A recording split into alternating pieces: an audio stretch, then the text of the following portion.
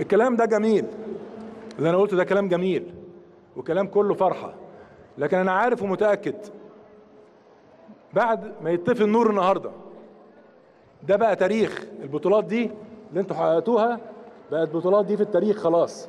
هتبقى ورانا. البطولات دي بقت في التاريخ. القادم القادم إزاي نحققه؟ وإزاي بشخصية البطل نحققه؟